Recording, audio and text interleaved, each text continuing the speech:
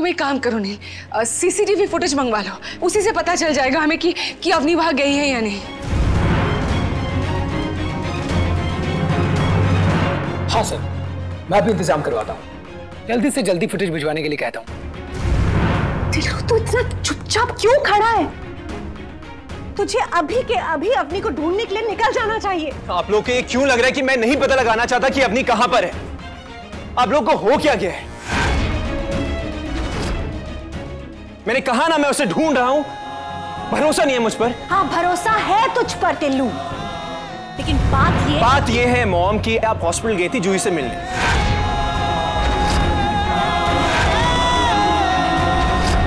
क्या मैं जान सकता हूँ कि आपने जूही से क्या कहा था?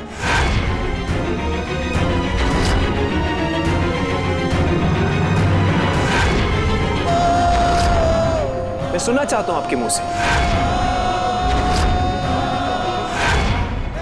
आप लोग समझते क्यों नहीं है? मेरी लाइफ में एक प्रॉब्लम नहीं है। पहले उस बच्ची को ढूंढना है, फिर अवनी को ढूंढना है, जो बिना बताए जा चुकी है इस घर से। मैं जानता हूँ हम लोग सब बहुत परेशान हैं। आप सबको लगता है कि जूही पाँच साल पहले गायब हुई थी, और अब लौट के आई है जानबूझकर।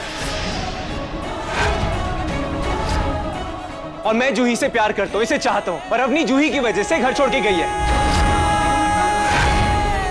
देखिए मैं अवनी को बहुत अच्छी तरह से जानता हूँ। अपनी गुस्से में या नाराज़ होकर मुझे छोड़ के नहीं गई हो। सकता है उसने सोचा उसके पास कोई रास्ता ना हो और आप लोग सब मिलके मुझ पर उंगलियाँ उठाए। क्या ये प्रॉब्लम का सोल्यूशन है? समझने की आप नहीं समझने की? कोशिश बस करो। रब बस करो। पीछे पै गए उसने। अरे हो सकता है वो सच कह रहा हो। कई बार इंसान की मजबूरियाँ उन्हें घेर लेती हैं। हो सकता है ऐसी कोई मजबूरी हो उसकी। आप सही कह रही हैं, बेबे। ज़िंदगी ऐसी ही होती है, मजबूर कर देती है। इसी मजबूरी की वजह से एक छोटी सी बच्ची कहीं फंसी हुई है। जैसे अपनी फंसी हुई थी जब वो बहुत छोटी सी थी।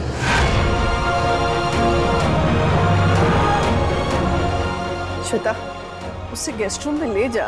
तुझे पता तो है उसे आराम की ज़रूरत है। मैं तुझे कहा था ना कि इनको गेस्ट रूम में लेकर जाओ।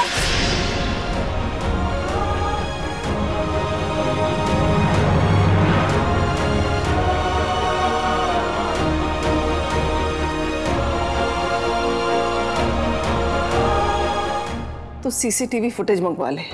चल भाई प्रकाश, आ नीला। चल।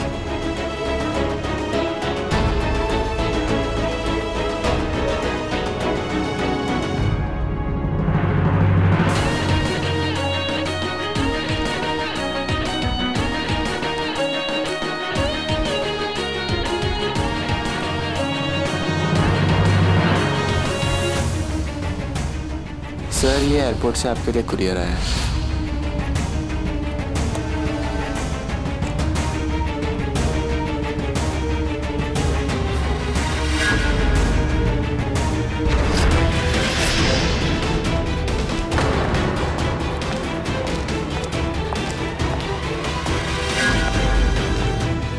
नील।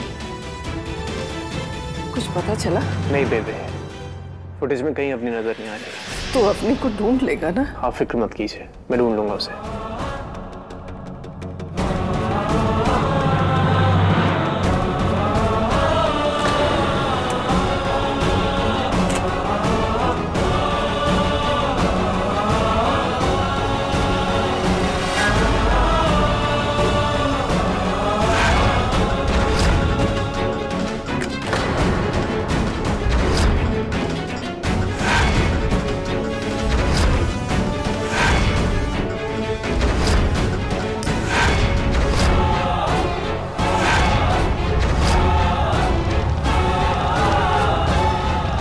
अवनी मिलेगी बेबे लेकिन सही वक्त आने पर।